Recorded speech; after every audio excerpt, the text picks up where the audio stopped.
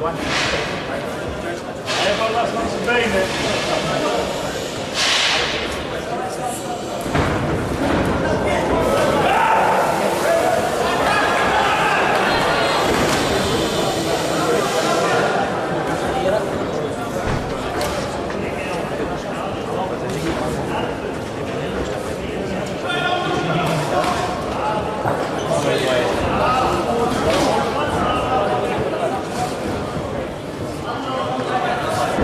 Druk zitten, je moet druk blijven zitten bij.